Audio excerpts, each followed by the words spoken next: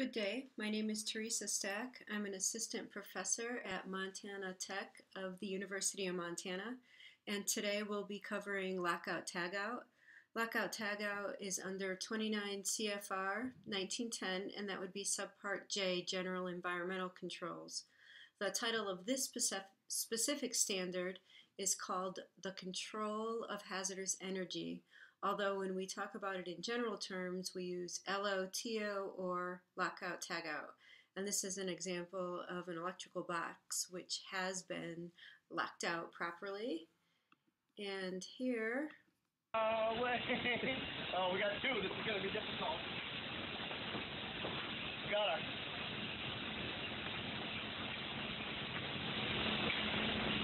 Oh, yeah, baby. Two more. Oh, these two bangers. We have an example of an operation that was being filmed where there was absolutely no lockout of equipment and that worker was um, at danger of going, getting um, injured. So we'll carry on with this particular presentation. Again, we're talking about energy, and so why not review accident causation theory? And you remember this from either 2246 or we touched upon it at least two times in this class is that accidents or injuries happen because of this unreleased, unplanned for um, rapid release of energy. And if we use Haddon's strategies to control this release of energy, we can prevent accidents and injuries from happening. And so um, this is an example of another quick and sudden release of energy.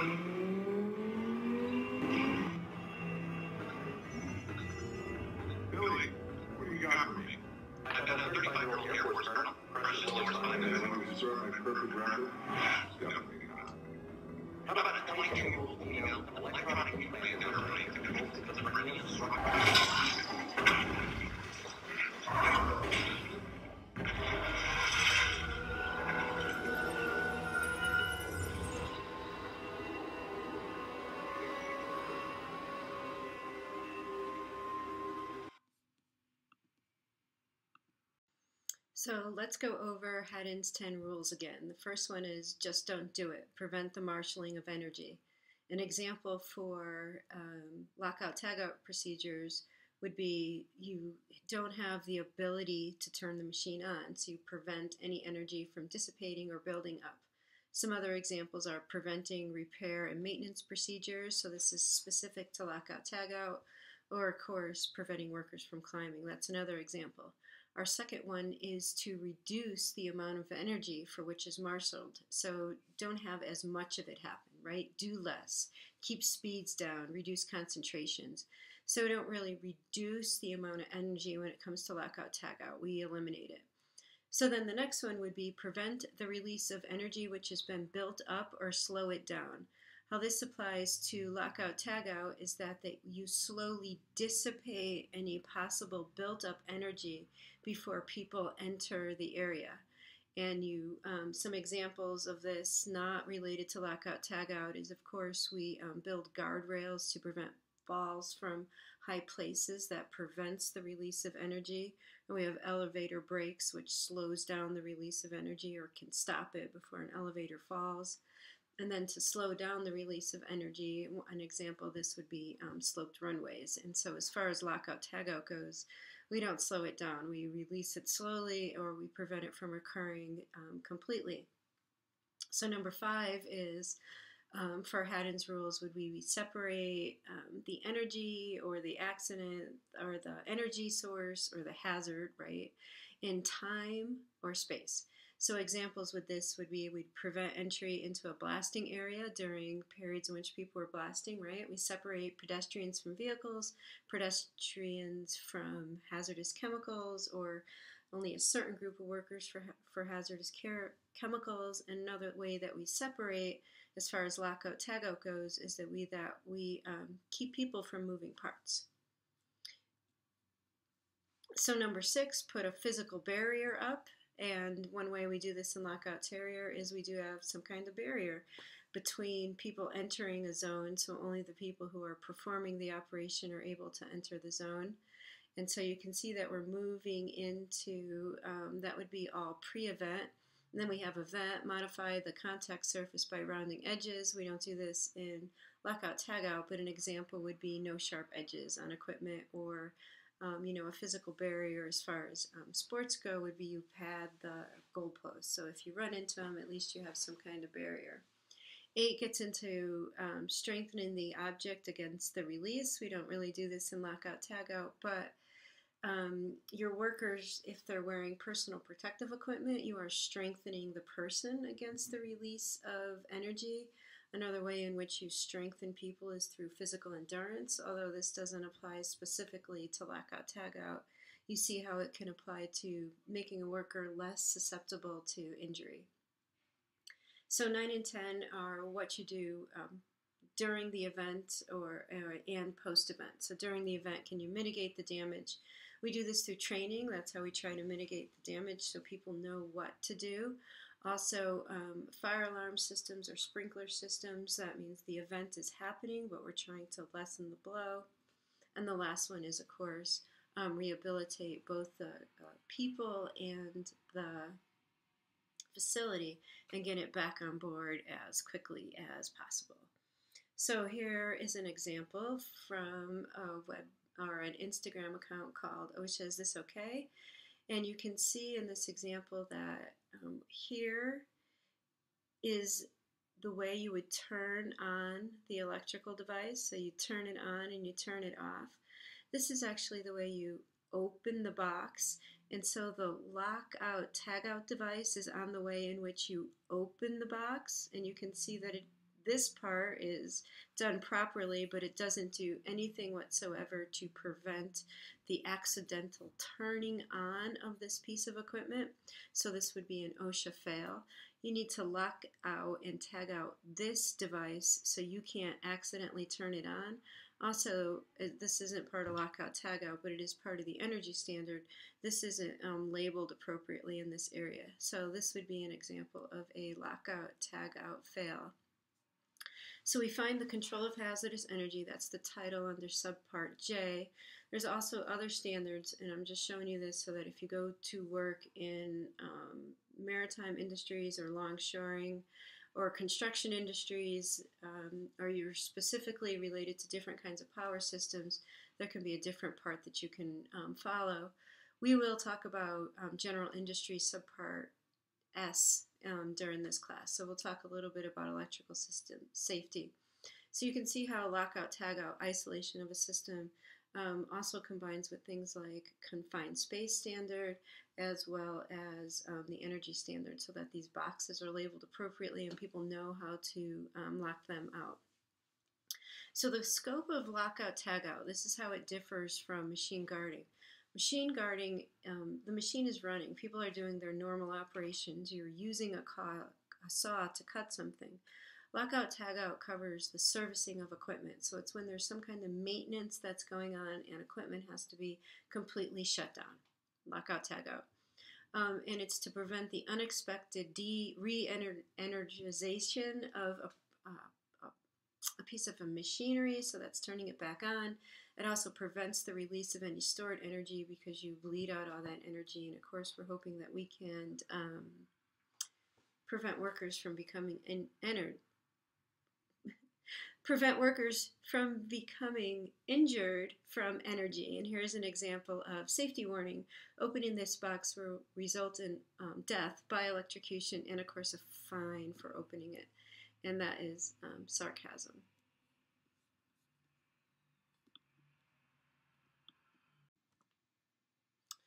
So there are some exemptions to when you use the lockout tagout standard, and um, that would be because you do not follow OSHA 1910 for construction. You follow 1926 uh, for agriculture. There are no occupational safety rules for agriculture.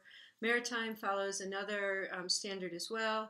And oil and well drilling services are listed as best practices and don't actually follow those standards.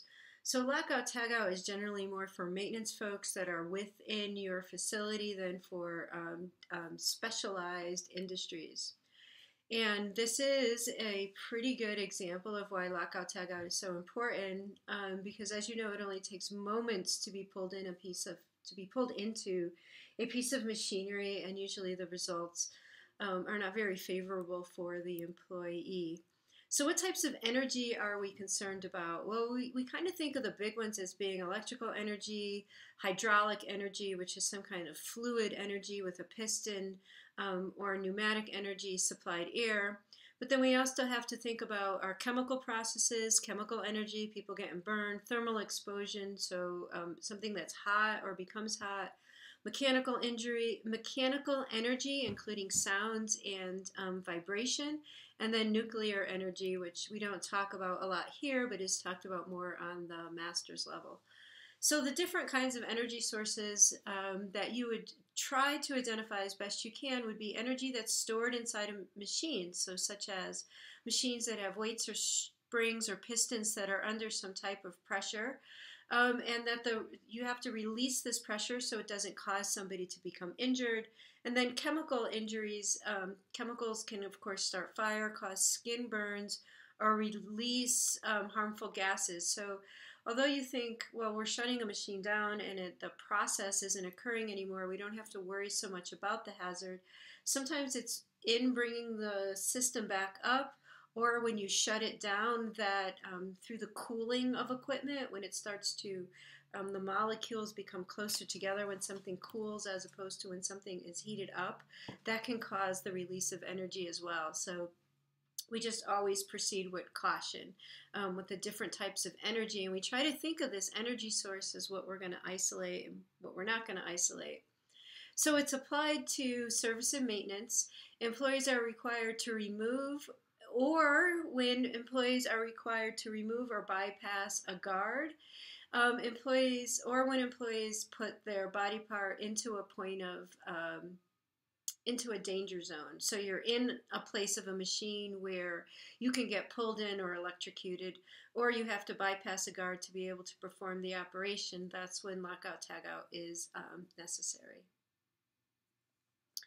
So then, um, other exemptions to performing lockout tab- tagout is if there's something really repetitive to the job that's being done. For example, you're constantly lubricating a piece of um, equipment and you don't have to completely log it down, uh, lock lock it out and tag it out. So that might be internal to the production um, for um, example, if you have to put ink on a press, you don't have to necessarily lock it out and tag it out every time you do that because it's part of the normal operation and that would be covered under machine guarding. So think about machine guarding as the machine is operating versus lockout tagout. It's being shut down because there's some repair or maintenance operation in place. And um, this would not be an example from lockout tagout, but you can see the way this panel um, is labeled that people wouldn't know what to lock out or tag out. And that's part of electrical safety, but it gets into lockout, tag out as well because people have to know what is going to turn a machine off and how to lock it out and tag it out um, appropriately. So it does not apply, you don't have to lock out and tag out a plug so that if you pull the plug and that completely turns the equipment off, you don't necessarily have to lock it out, but they do make these lockout devices for plugs so that somebody doesn't accidentally plug it in and turn it back on again. It's really highly recommended that people do lock out and tag out equipment if they're not close enough to the part of equipment in which um, people can be exposed to. So there are lockout tagouts for plugs. And this would be how you would um, lock it out. You'd put this over the plug and then put a lock into place and then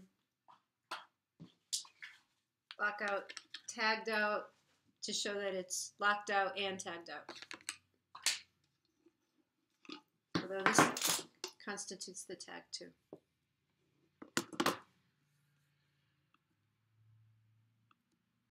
So, although is it, this isn't necessarily your very first um, step, but you have to understand how the um, energy can be released or what kind of energy is there that could be causing people um, or that may cause people to get injured. injured. So, you have to identify um, all the points in which energy is being brought into the system or energy can be released. So, this isn't necessarily just unplugging something if, for example, you have a bunch of built up pressure or a bunch of built up energy in a capacitor, you have to be able to identify that so you can bleed it off. And um, most places have really strict lockout tagout procedures that are pre written so that it doesn't have to be identified on the fly, which means, you know, like where people don't have a whole bunch of planning for it. And I could um, pretty much guarantee that you may do something like this or material safety data sheets in your um, internship because it's really good for people who are just getting into the industry to become familiar with all the different equipment that's being used as well as how it's locked out and tagged out. And you can see here in this picture, this picture is a really good um, example of something that is locked out and tagged out appropriately. So right here in this area, that's the switch that's in the off position. And then you have um, these two connectors on there and a bar so that you can't possibly turn that back on again. And then a lock with a tag, locked out and tagged out. And the lock is kept with the employee who, employee who is actually um, performing the work. Um, and then this is an example of when you have multiple employees that are performing work.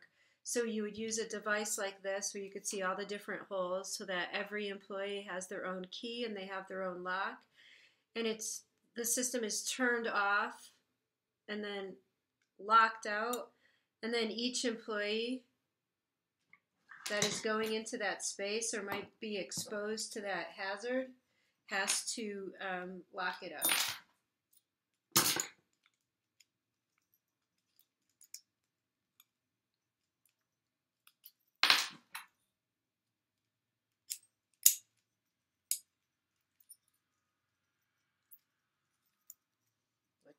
then you would, of course, take the key. Another way in which this is done is that then all these keys, well, this is how we did it in hazmat, everybody would give their key to a supervisor and he would put it in a box and lock that box. So the supervisor would have the lock box, and the only time you were able to get your key back is when everybody was out of the space and it was deemed clear and it was safe to put the um, turn the equipment back on again. And generally speaking, this may seem like overkill to you, but in a place like um, Colstrip, where they have over 2,000 confined spaces, you may have people that are um, a couple of football fields apart that are maintaining and working on the same piece of equipment. They may not have direct eye contact with somebody or not understand the other part of the process. And then um, you it's one way to ensure that everybody knows what everybody else is doing because it's actually a physical barrier. Think of this as an engineering control not an administrative control or personal protective equipment. So it is our first line of defense. And then this is an example of a valve lock. So so you can't uh, turn a valve. You can put this over the valve. Oop, it just came apart. And then for one person you have one lock and tagged or for multiple people. And the picture that you see here is where um, you don't have any way to put like a valve lock on these. So you have the two um, valves turned to the right direction so they can't be turned on and they come together into this junction box and they're, they're wrapped around like a big grommet so that you can't accidentally pull them through and then it is locked and tagged, locked and tagged out. So items that you need, um, you need a written lockout tagout standard operating um, procedure. That's an SOP for all equipment or confined spaces, which would be um, entered. So part of identifying that and the risk in which people would be exposed to them is um, part of your occupational safety and health program. It's something that you do. You need locks and tags that can be identified by the worker. So um, they can be color coded, they could have numbers on them um, so that each worker knows what their lock is and what their key was. you need um, ways in which you can lock it out um, appropriately depending on what you are locking out. So this is for like a power box. Um, power box where you have the breaker that goes up and down. this is really a great um, example of where the lockout tagout procedure is identified for different areas and then it usually is either posted like in a book not like in a book it's posted in a book or um, the way they did it at montana precision it was um, attached to each piece of machinery. So if we kind of scroll down here you could see that um, e1 is this piece of equipment it tells you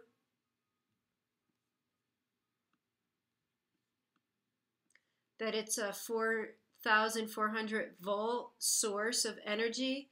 The way that you'd lock it out with a is with a padlock. It tell you um, where um, where you need to isolate that point, um, and what kind of method is being used. So you have to move electrical disconnect into the number one position or off and lock it out. And a check for it would be attempt to restart, where um, your check for one or the other of these water valves is visually verify that the pressure gal the pressure valve is on zero. So this is an example of a really well done lockout tagout system. And you can see that it even shows you um, where you might be at risk of burns or chemicals um, because of kinetic or thermal injury. Kinetic energy, of course, isn't thermal heat, but where you can be exposed to heat here or energy from pieces of equipment that are moving. So this shows you inside of a facility what a lockout tagout um, standard operating procedure would look like. It doesn't have to be complicated to be really effective. So some circuit breaker kits that these are locked out um, and tagged out appropriately. This one is appropriate because the tag is on the lock. It's locked in a position that there's no way that you can turn this back on again. So there's 10 steps to lockout tagout procedure. Um, these are all really important and important that they're done in proper order. So you prepare for shutdown by understanding um, the equipment that you're going to shut down and notifying all people in the area that it will be shut down because shutting down one piece of equipment can affect people in other areas of a plant. Then you shut down the equipment using the normal shutdown process and disable any, any energy sources that you can, which means that um, can you shut down the power switch or pull out a plug. Um, isolate all energy sources, so then you would close all the valves or um, areas that are leading into there as well. So it's not just shutting down the piece of equipment, it's shutting down the surrounding equipment that may feed into it and cause a hazard. And then step four is placing the locks and the tags onto the equipment that has been turned off.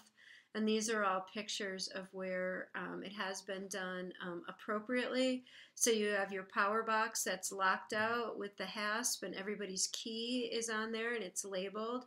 Then you have another power box that's locked and tagged out. The tag is here and you can write on this with like a um, wax pencil. Um, and then this is a ball valve lock, so the butterfly clamp is on there so you can't accidentally turn it on. In a lot of the newer pieces of equipment, lockout tagout equipment um, is, or places where lockout tagout can be um, attached is built into it, but on older pieces of equipment that isn't necessarily there. So number five is probably the most important step and the step that um, is missed. You know, lock it, tag out, and consider it good to go. But there could be capacitors that could be storing energy that need to be discharged, right? Because you can still get a shock from something, even if the power has been turned off, if there's energy stored into it. You block anything that's elevated, elevated parts, so if they do lose their hydraulic pressure, they don't fall on people. Stop the rotation of flywheels. So sometimes, you know, like if you think you turn your fan off, the fan blade still spins. You want to make sure that was a full rotational stop so you can visually check that it has been turned off. Um, take all the pressure out of the system, drain fluids that need to be drained, vent gases that need to be vented so that it doesn't vent while people are in the space. And sometimes you have to allow pieces of equipment to cool down before you're able to go in and do the repair work. So it's definitely a patient process and not something that you do just um, immediately. Go in and get it done. Many electrical devices store power in batteries or capacitors, and there's still the risk of being shocked by the equipment even after it has been unplugged. So you're not only worried about it accidentally being turned on, but is there any way in which that energy can be transferred into the individual? And that's what you see here in the um, arc flash explosion. A hot pipe or a pressure tank that is, or a tank that's under pressure can still carry energy even when the energy source has been disconnected. So you have to make sure that you drain all the energy. That was step five, and that's a really important step there. That is sometimes missed. People lock out, tag out, and then they feel that they're good to go. These are examples of lockout tagout fails. Um, this right here, they're locking out, opening up the box, which opening up the box is not going to ultimately kill you. It would be throwing the switch. And a piece of tape isn't considered a physical barrier. It can certainly fall off. Um, I don't know what that lock is doing there, hanging in space. So then step six, again, one that is kind of forgotten, is to verify that the equipment has been isolated, that workers are out of the um, work area, and that you can that you've isolated all the energy sources that are in place. And then this is an example, of course, of where um, improper lockout tagout. The tag is on the hasp, which can be taken off by anybody. You want somebody to physically have to take off a lock with a key, and that person is the person who's going in the space and whose life depends on the lockout tagout system. So seven would be after you lock out tag out is that you actually test it. You try to turn it back on again and see whether the system will energize. So you hit the on button a couple of times and if you've isolated all the energy, then the system doesn't turn back on.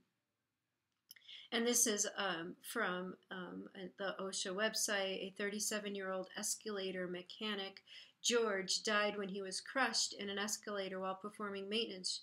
George had removed the escalator stairs and crawled inside the mechanism of the escalator. A coworker dropped the escalator's electrical current box. This triggered a delay and sent power to the escalator. The stairs began moving. George could not get out before the power was turned off. There were no locks or tags on the power controls to the escalator.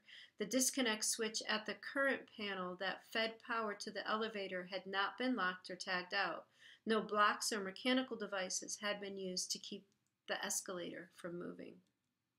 So our step eight, or um, our step eight we um, if you tried to turn it on, then you put it back in the off position, even if it didn't go on. And that's so when you finally do turn it on, it won't be in the on position. So, like, think about a light switch.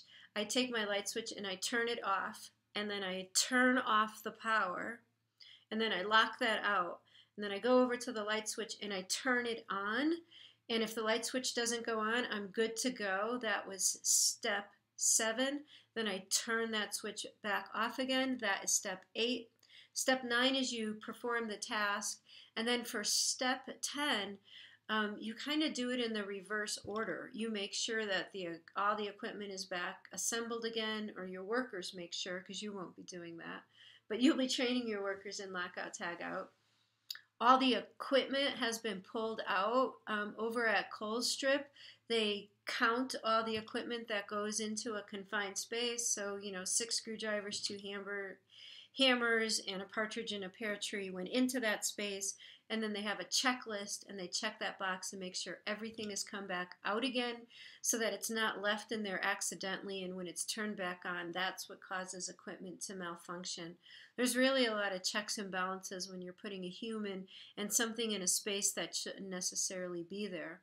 And then ever after everything is removed and you verify that it's safe to turn the equipment back on again, um, each person removes their own lock and then you're able to re-energize the source. So first you have to make sure everything is accounted for and for really complicated jobs there's checklists for that. A 52 year old welder died when he was crushed to death by a hydraulic door on a scrap metal shredder. Jeff was trying to remove a jammed piece of metal from the hydraulic door.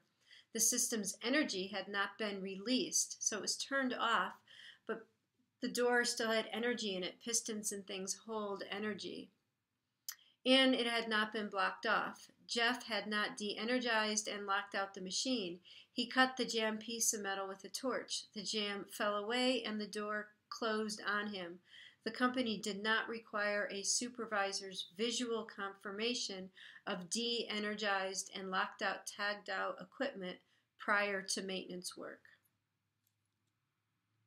So, who can remove um, locks and tags? Only the employee who placed them there, um, or a supervisor after obtaining permission from the employee who placed them on there, or though that isn't highly um, something that we really like to practice in occupational safety and health. Instead, it'd be much better than to just remove the equipment, remove, have the worker remove it, put it back in their pockets. And you may see people walking around campus who have locks on their belts and wonder what they are. They're their own locks that they carry with them, or in some other maintenance facility, maybe not on campus. A shipyard worker was preparing to replace a high pressure steam valve that was faulty and leaking in an engine room. The valve was part of a 600 psi steam system on a vessel. Other shipyard personnel had previously located all the valves and drains and isolated the steam system according to the ship's as-built drawings. All the drains indicated on the as-built drawings of the ship were opened and depressurized. The drains were then marked with tags. As one of the workers loosened the bolts around the faulty valve, a tremendous burst of steam was suddenly released. The steam under high pressure at 385 degrees Fahrenheit knocked the worker to the ground and produced third degree burns on more than 60% of his body. The worker died two days later in the hospital. Errors and omissions on the ship's as-built drawings had prevented shipyard personnel from completely isolating and draining the steam system. Let's take a look at some of the contributing factors that led to this fatality. Use a thermal gun or carefully place your hand near both sides of the valve to check the temperature. Verify that the steam system is drained and the drain valve is open. Be careful not to touch the pipes or valve too quickly. Approach them slowly to feel if heat is radiating from them first. If they are very hot, then they may still contain steam under pressure. Accurate drawings free from discrepancies are essential for effective energy isolation. Shipyard personnel should be properly trained to conduct a visual check of all drains and valves in a steam system that is to be drained and depressurized. Drain connections on all dead interconnecting systems must be opened and observed to ensure effective isolation. Employees authorized to perform steam system repairs should be directly involved in the isolation and lockout tagout of the system. Direct involvement by workers in the lockout tagout process ensures their understanding of the operation or process hazards that the lockout tagout is designed to control and how to avoid or control these hazards. It is essential for ship's personnel and repair contractors to communicate and coordinate about the isolation and lockout tagout of the ship's systems.